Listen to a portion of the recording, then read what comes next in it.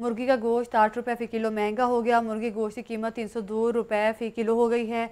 ज़िंदा मुर्गी की होल सेल कीमत दो सौ परचून, दो सौ आठ रुपये फ़ी किलो मुकर आपको अपडेट कर रहे हैं कि मुर्गी का गोश्त तीन सौ दो रुपये हो गया। मुर्गी का गोश्त आठ रुपये फ़ी किलो महँगा हो चुका है और ज़िंदा मुर्गी की होल सेल कीमत दो सौ परचून, दो सौ आठ रुपये फ़ी किलो मुकर की गई है।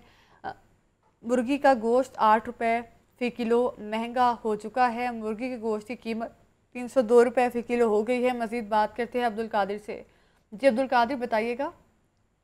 बिल्कुल ब्रायलर की कीमतों में आज इजाफा देखने को मिल रहा है और इसकी बड़ी वजह यह है कि खपत के मुकाबले में ब्रायलर की सप्लाई जो है वो आज मुतासर हुई है, जिसकी वजह से ब्रायलर गोश्त की कीमतों में आठ रुपया फ़ी किलो तक का इजाफा कर दिया गया गुजशत रोज ब्रायलर गोश्त की कीमत दो सौ चौरानवे रुपए फ़ी किलो मुकर की गई थी, जिसमें आज आठ रुपए इजाफा करके तीन सौ दो रुपए फ़ी किलो मुकर कर दिया गया है। इसी तरह ज़िंदा ब्रायलर की कीमतों में पाँच रुपए फ़ी किलो तक का इजाफा किया गया। होलसेल ज़िंदा ब्रायलर की कीमत दो सौ रुपए, जबकि परचून मार्केट में ज़िंदा ब्रायलर दो सौ आठ रुपए फ़ी किलो मुकर किया गया। वाजह रहे कि गुजशत रोज आठ रुपए फ़ी किलो तक कमी हुई थी, लेकिन आज सप्लाई एक बार फिर मुतासर होने की वजह से जो उसे दोबारा बढ़ा दिया गया और ब्रायलर गोश्त की कीमत आज के लिए शहरियों को जो मुकर की गई है, वो तीन सौ दो रुपये फ़ी किलो है। जी।